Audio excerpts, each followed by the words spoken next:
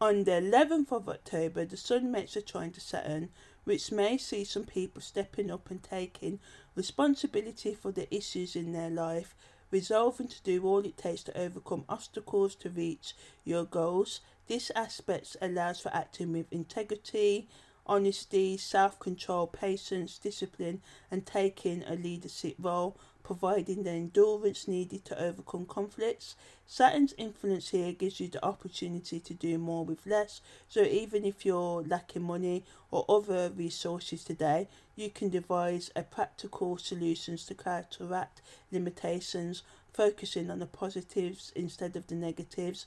Mercury also opposes Jupiter, which supports that with decisive action and thinking. A lot can be achieved as long as you have done the planning beforehand or are prepared to do it now.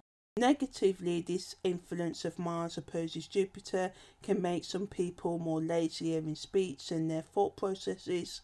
Some of you may make promises that you fail to keep. It is crucial you check the facts before you act and that you avoid exaggeration and look out for this behaviour in other people.